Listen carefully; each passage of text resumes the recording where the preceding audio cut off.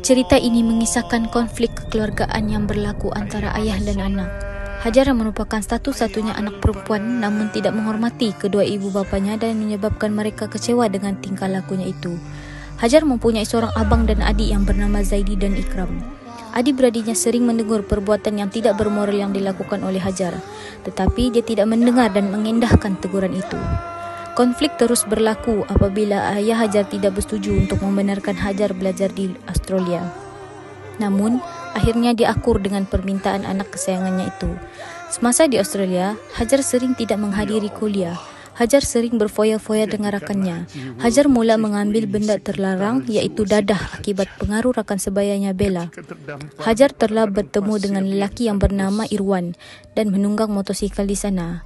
Walaupun dia tahu ayahnya tidak membenarkan dia menunggang motosikal. Sehingga satu hari, Hajar kemalangan di Australia dan ayahnya ingin pergi ke Australia untuk melihat anaknya. Sydney Tower merupakan bangunan ikonik dengan ketinggian 305 meter dan merupakan bandar tertinggi di Sydney. Dari atas, kita boleh melihat seluruh bandar Sydney. Pada waktu malam, pemandangannya lebih memukau dengan kerlipan lampu yang menghiasi seluruh bandar. Jam sudah tepat 12.30 malam, namun kami masih belum pulang. Aku bahagia dapat menghabiskan masa bersamanya. Lewat balik, pergi mana Hajar? Soal Ilya. Tak payah nak jadi busy body lah. Kataku sambil mencapatkan beg di atas katil lalu berbaring. Hajar, semalam kau pergi mana? Tanya Bella sambil tersenyum mengejek. Eh, jomlah. Malam ni ikut aku. Tambahnya lagi. Nak pergi mana?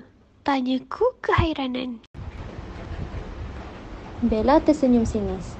Wan ada. Kau nak ikut tak? Pukul 8 malam aku bersiap-siap untuk keluar bersama Bella. Hajar, kau naik kereta dengan Wan. Kata Bella kerana dia ingin berdua bersama kekasihnya. Eh, tempat apa ni? Jom masuk. Jangan risau, saya ada. Walaupun Wan berkata begitu, namun aku masih ragu-ragu untuk masuk. Bella membawakan air dan menghulur ke arah aku. Nah, air. Aku memandang Bella dan bertanya, Air apa ni? Jangan risau, air itu halal. Kita orang datang sini untuk release tension je. Bukan buat apa pun, kan Wan? Wan mengangguk dan aku mempercayai Wan. Walaupun hanya mengenalinya sebulan, tetapi dia sangat memahami aku.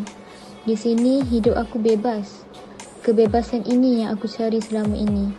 Lebih-lebih lagi di samping Wan yang sentiasa menyokong apa sahaja yang aku buat dan penyayang terhadapku. Disebabkan ini jugalah aku mempercayainya. Kami pulang ke kolej jam 6 pagi. Mataku berasa amat mengantuk dan terus tertidur setelah sampai ke bilik.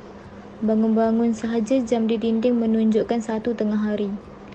Itulah rutin harian aku sepanjang bersama Wan. Aku kerap ponteng kelas dan tidak menyiapkan tugasan yang diberikan oleh pensyarah.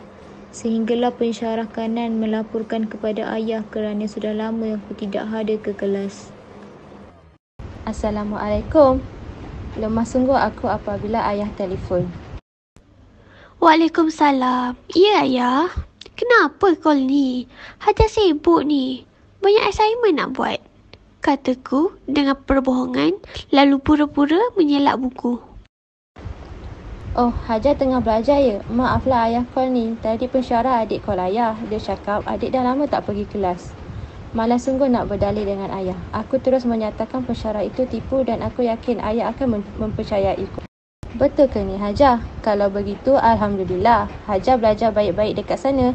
Ingat pesan ayah, jangan buat benda yang bukan-bukan. Ujar ayah bersungguh. Aku malas mau mendengar ayah bebel lagi lalu terus berkata, Ya ayah, dah lah. Hajar sibuk sangat ni. Bye. Terus aku mematikan telefon dan menghembuskan keluhan. Seperti biasa, setiap malam kami akan keluar untuk ke pub dan pulang sekitar jam 6 pagi. Saat berduaan bersama Wan, aku mengadu padanya tentang pensyarah yang melaporkan kegiatan ponteng kelas kepada ayah. Aku berasa tertekan kerana ayah terus menasihati dan menyuruh aku belajar rajin-rajin. Wan terus menyeluk saku poketnya dan memberikan aku plastik kecil berisi serbuk berwarna putih. Apa ini? Wan terus meletakkan tangannya di bahu aku dan berkata, Inilah ubat untuk hilang stres awak. Lalu dia membuka terus menyuapkan ke dalam mulutku. Saat itu aku berasa sangat seronok. Hilang terus semua permasalahan aku. Aku amat beruntung kerana mempunyai teman lelaki seperti Wan. Makin hari aku makin ketagih dengan dadah. Hari-hari aku meminta stok dadah untuk menghilangkan ketagihan aku.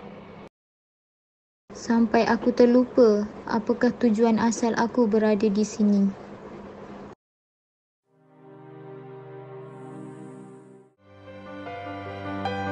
Nada berjalan Mencari si irama Menyatu di dalam siulan